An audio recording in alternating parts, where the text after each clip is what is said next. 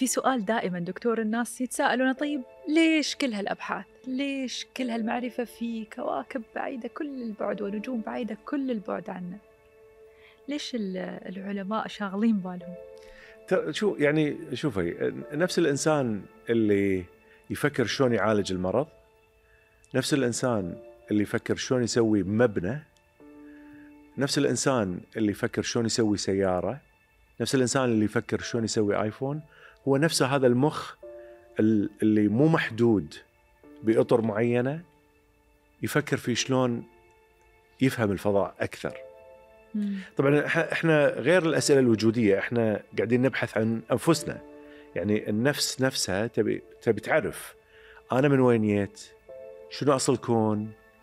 أه وين رايحين إحنا؟ وين رايح هذا الكون أصلا؟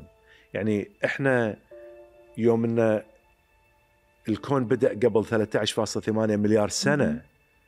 وأخذ هالفترة هذه كلها إلى أن وصلنا على كرة أرضية فيها بشر. هذه هي أصولنا يعني هاي هاي تركيبتنا كذي فجائية صارت ولا لا؟ في ترتيب معين حق الكون.